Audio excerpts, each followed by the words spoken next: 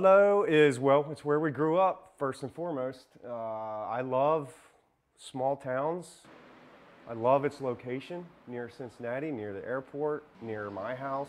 Uh, I love the homes down here, the historic qualities, the architecture. I love the people.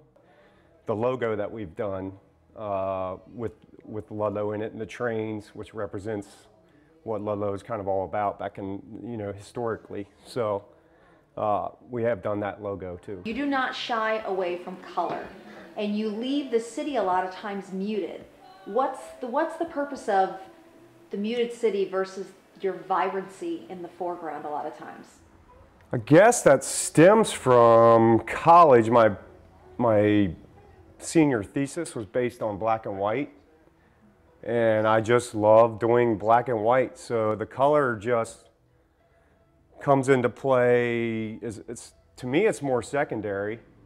When it's blurred out or the bridge is blurred out, I'm trying not to give you all the information so that you can fill it in.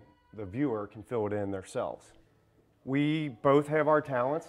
His being graphic design and taking photos, uh, mine being the fine art aspect.